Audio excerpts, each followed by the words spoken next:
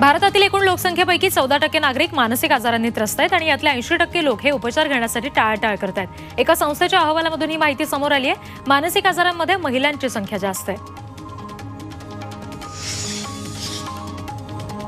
म्हाडा भरतीसाठी कागदपत्र तपासणीचा दुसरा टप्पा जाहीर झालाय. पहिल्या टप्प्यामध्ये पात्र उमेदवार उपलब्ध न झाल्यामुळे कागदपत्र तपासणीचा दुसरा टप्पा राबवण्यात येणार आहे आणि या टप्प्यांमध्ये विविध संवर्गातील तीस जागांसाठी उमेदवारांची कागदपत्र तपासणी करण्यात येणार आहे. उमेदवारांना बावीस नोव्हेंबरला कागदपत्रांसह उपस्थित राहायचं आहे. शिंदे फडणवीस सरकारनं काही दिवसांपूर्वी राज्यभरातील एकशे नऊ पोलीस उपायुक्त दर्जाच्या अधिकाऱ्यांच्या बदल्यांची यादी जाहीर केली होती.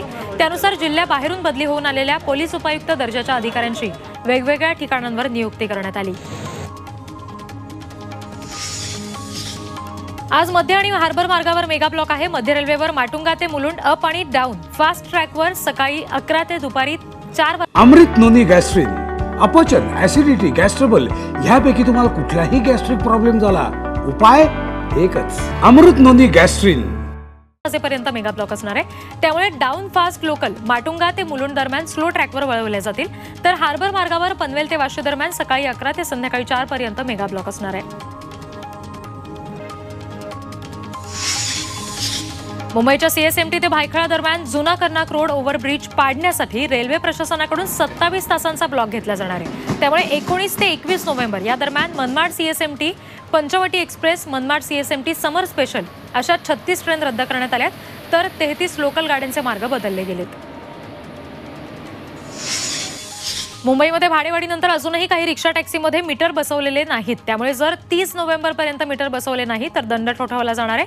हा इशारा आरटीओनं दिलाय.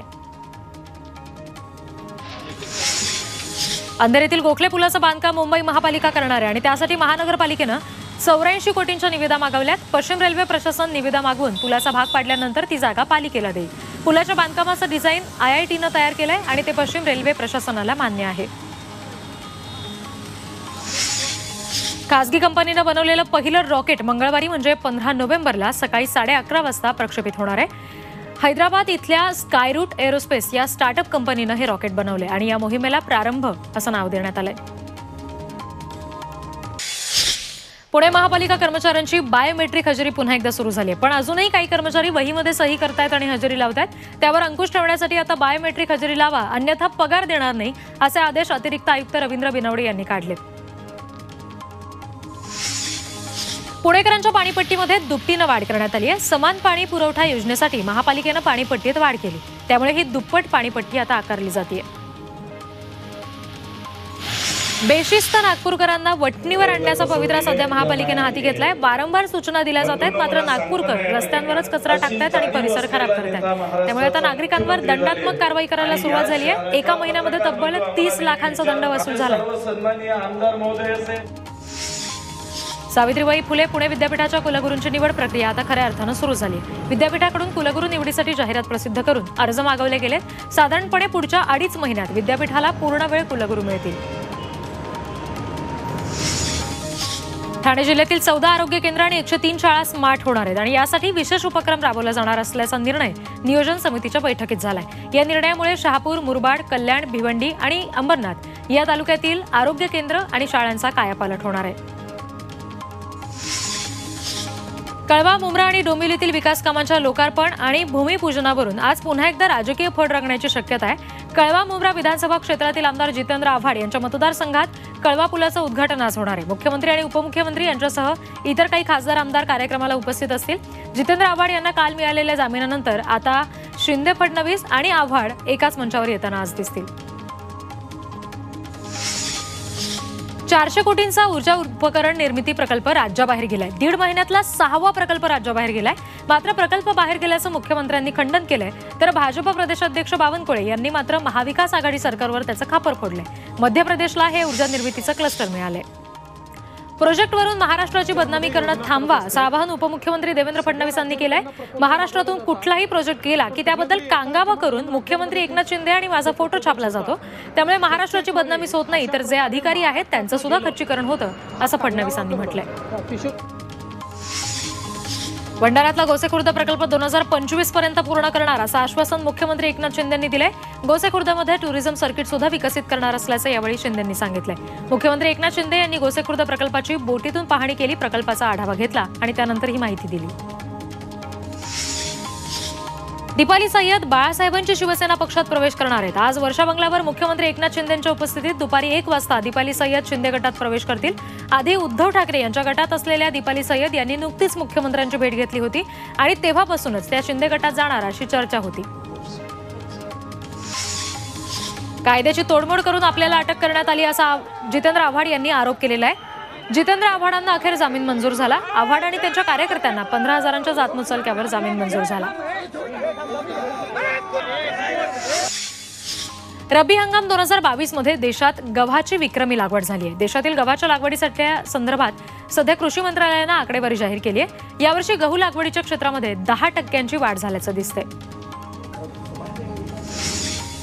कर्जत तालुक्यामध्ये यंदा भात उत्पादनामध्ये लक्षणीय वाढ झाली आहे. यावर्षी कमी दिवसात अधिक उत्पन्न देणारं सुधारित भात जाती बियाणं शेतकऱ्यांनी त्याची लागवड केली होती आणि त्यामुळे भाताचं उत्पन्न वाढलंय. यावर्षी तालुक्यामध्ये नऊ हजार एकशे दहा हेक्टरवर भात लागवड झाली. उत्पादनात वाढ झाली आहे त्यामुळे भात उत्पादक शेतकरी आनंदात आहेत.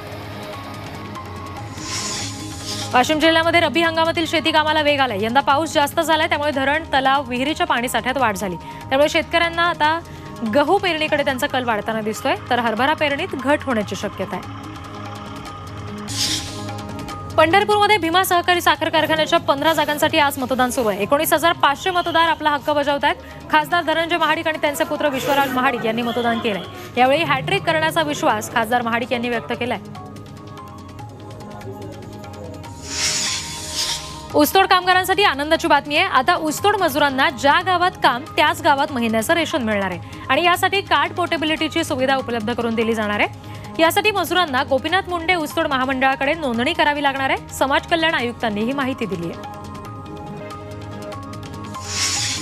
राज्यामध्ये लंपी रोग नियंत्रणात आणण्यासाठी प्रत्येक जिल्ह्यासाठी आणखी वाढीव मदत म्हणून एक कोटी रुपये देण्यात येणार आहेत. तर लंपीमुळे मृत्युमुखी पडलेल्या पशुपालकांच्या खात्यांवर तातडीनं नुकसान भरपाईची रक्कम जमा करावी असे आदेश पशुसंवर्धन आणि दुग्ध व्यवसाय विकास मंत्री राधाकृष्ण विखे पाटील यांनी दिलेत.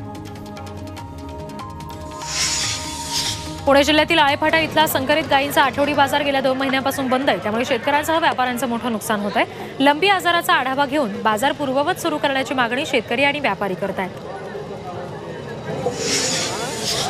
नाशिक इथल्या त्र्यंबकेश्वर देवस्थान मंदिरातील सशुल्क दर्शनाच्या विश्वस्त मंडळाच्या निर्णयाला उच्च न्यायालयामध्ये आव्हान देण्यात आलंय. शिवाय हा निर्णय भक्तांमध्ये दुजाभाव करणारा आणि त्यांची लूट करणारा आहे असा दावा करून तो रद्द करण्याची मागणी याचिकेमध्ये केली आहे. याचिकेवर उद्या सुनावणी होणार आहे. Dombivli M I D C भागामध्ये रस्त्यांवर मनसेनं मुख्यमंत्री एकनाथ शिंदेचे आभार मानणारे बॅनर्स झळकावले. आतापर्यंत डोंबिवलीतल्या रस्त्यांच्या दुरवस्थेकडे राज्य सरकार दुर्लक्ष करत होतं पण मुख्यमंत्री एकनाथ शिंदेंनी समस्येकडे लक्ष दिलंय. त्यामुळे मनसे आमदार राजू पाटील यांनी मुख्यमंत्र्यांचे आभार मानले. विविध प्रकारच्या प्रदूषणामुळे स्थलांतरित पक्षी संख्या सध्या घटली आहे युरोपातून येणाऱ्या पक्ष्यांच्या संख्येमध्ये गेल्या वर्षीपेक्षा यावर्षी तीस टक्क्यांची घट नोंदवली गेली आहे. राज्यातील सहा ठिकाणी जलप्रदूषण झालंय आणि त्यामुळे पक्षी तज्ज्ञांनी चिंता व्यक्त केली आहे.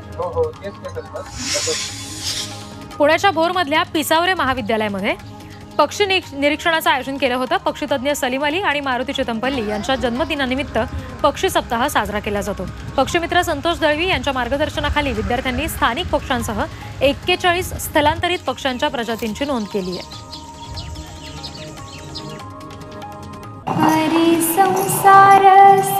बहिणाबाईंची जात्यावरची ओवी म्हणजे